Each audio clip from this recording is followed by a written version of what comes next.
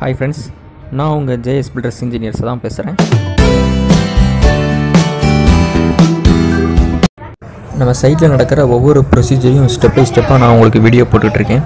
கடைசியாக வந்து ground level வரைக்கும் கொண்டு வந்த காலமில் எப்படி கன்சல்டேஷன் ஒர்க் பண்ணுறது அப்படிங்கிற ப்ரொசீஜர் வந்து உங்களுக்கு சொல்லியிருந்தேன். இப்போ கன்சல்டேஷன் ஒர்க்லாம் முடிஞ்சு ஒன்றரை ஜில்லி போட்டு பிசிசி எல்லாம் போட்டு இப்போ வந்து லெவலிங் கொண்டு வந்து அதுக்கு மேலே பிளிந்த் லெவல் காங்கிரீட்டிங் போடுறதுக்காக ரைன்ஃபோர்ஸ்மெண்ட்லாம் ரெடி பண்ணி இப்போ வந்து காங்கிரீட்டிங் போடுறதுக்கு ரெடியாக இருக்குது முன்னாடி பிளிந்த் லெவல்னால் என்ன அப்படிங்கிறத பற்றி பார்த்துருவோம் எல்லா காலத்தையும் வந்து கனெக்ட் பண்ணுறதுக்கு ரைன்ஃபோர்ஸ்டு சிமெண்ட் காங்க்ரீட் அப்படிங்கிற அந்த ஸ்ட்ரக்சரை தான் வந்து பிளிந்த் பீம் அப்படின்னு சொல்கிறோம் இந்த பிளிந்த் பீம் வந்து எல்லா காலத்தையும் லோடையும் ஈவனாக வந்து ஃபூட்டிங்க்கு எடுத்துகிட்டு போகிறதுக்கு நமக்கு ஹெல்ப்ஃபுல்லாக இருக்குது பொதுவாகவே இந்த பிளிந்த் பீம் அப்படிங்கிறது வந்து கிரவுண்ட் லெவல்லேருந்து ஒரு அரை அடி கீழே இறங்கி இருக்கிறது நல்லது. ஏன் அப்படின்னு கேட்டிங்கன்னா இப்போ நம்ம இந்த பீமுக்கு அடுத்தபடியாக வந்து பேஸ்மெண்ட்டை வந்து தூக்குவோம். அந்த கிரவுண்ட் லெவல்லே அந்த பீம் இருக்கும்போது இப்போ வெளியில் இருக்கிற தண்ணி பார்த்திங்கன்னா உள்ளே போகிறதுக்கு ரொம்ப வசதியாக இருந்துடும் அதனால அந்த பீமை வந்து நம்ம கிரவுண்ட் லெவல்லேருந்து கொஞ்சம் டெப்த்து கீழே இறக்கி கொடுக்கறது நல்லது. என்னன்னு பார்த்தீங்கன்னா இப்போ இந்த ரோடு மட்டத்திலிருந்து பார்த்தீங்கன்னா கீழே இறக்கி தான் நம்ம வந்து இந்த பீமை கொடுத்துருக்கோம். அப்போ வந்து ஸ்லோப் இருக்கும்போது போது அந்த தண்ணி வந்து உள்ளே போகாமல் இருக்கிறதுக்கு இந்த டெப்த்து பீம் வந்து கண்டிப்பாக அவசியமாக இருக்குது ஸோ அந்த பீம் வந்து இறக்கி கொடுக்குறது ரொம்ப நல்லது. நம்ம இப்போ வந்து காங்கிரீட்டிங் போட போகிறோம் காங்கிரீட்டிங்க்கு முன்னாடி கவர்லாம் கரெக்டாக இருக்கா அப்படிங்கிறது செக் பண்ணுறது ரொம்ப அவசியம். பாட்டமில் வந்து நாற்பது எம்எம் கவர் வைக்கணும். அதே மாதிரி சைடில் வந்து இருபத்தஞ்சி எம்எம் கவர் வைக்கணும். இப்போ கனெக்ஷன் ஆஃப் காலமில் இந்த அங்கேருந்து வரக்கூடிய ராடு டாப் ராடு இந்த காலமில் வந்து உட்காரும் போது இந்த மாதிரி எல் அடித்து உட்கார்றது வந்து நம்ம கவனிக்கணும்.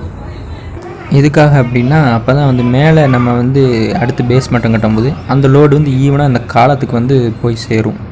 அப்படிங்கிறதுக்காக இதை ரொம்ப முக்கியமாக கவனிக்கணும்.